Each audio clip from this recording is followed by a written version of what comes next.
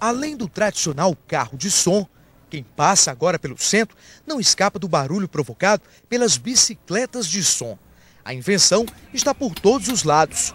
São dezenas delas, às vezes na mesma rua. É muito barulho, muita zoada, devia ser menos zoada. Podia ser mais, mais baixo. Pouco, incomoda, sim, o barulho incomoda.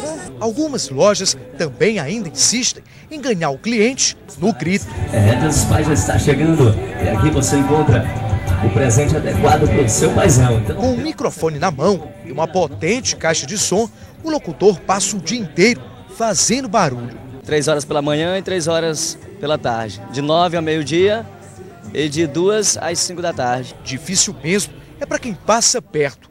Atender o telefone, por exemplo, é quase impossível. Mas é o que eu tento falar com um colega meu e não consigo.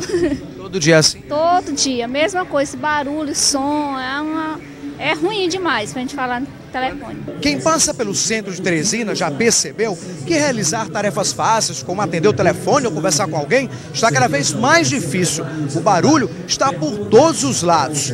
Segundo os especialistas, essa poluição sonora, além de incomodar, traz sérios danos à nossa saúde. Você exposto ao som diariamente, você vai ter problemas de barulho no ouvido, são os zumbidos, pode ter tontura e perda auditiva.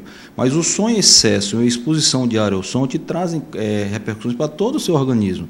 Aumenta a sua pressão arterial, mexe bastante com o seu estado de humor, irritabilidade, levando a uma série de outras alterações ao seu organismo. Segundo o otorrino, as pessoas que estão expostas diariamente à poluição sonora são as mais prejudicadas. A Delegacia do Silêncio diz que até agora não recebeu nenhuma reclamação. Precisa vir aqui dizer qual é o comércio, quem é que está incomodando, qual o horário, tudo direitinho para se fazer uma audiência e fazer se o termo circunstanciado e caminhar para a justiça, tudo dentro das normalidades legais com as provas cabíveis para a justiça.